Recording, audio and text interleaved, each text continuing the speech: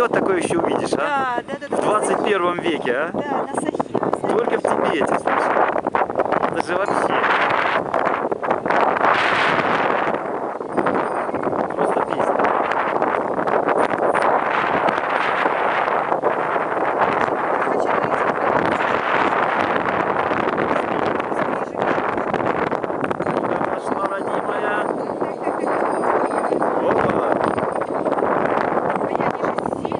сильные, конечно, и злые.